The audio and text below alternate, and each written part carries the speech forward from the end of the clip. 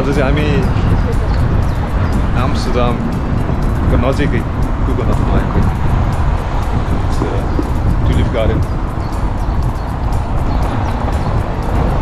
ठुलो tulip garden छ युरोपमा एकदम फेमस त्यहाँ चाहिँ कति around nine thousand around nine thousand to ten thousand species फुलहरू छ uh, it's very famous place. It's very crowded actually. So many cars are behind us.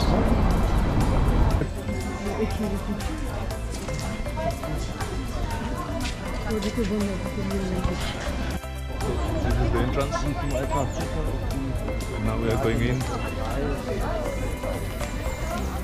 And for the ticket. Now ticket ready, Sada? Yes.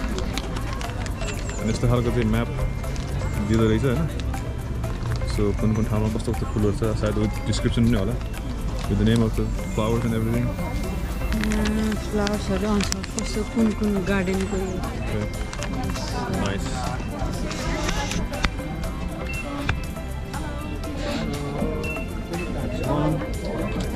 And that's two. Enjoy. Thank you. You're welcome. Okay, we are finally in.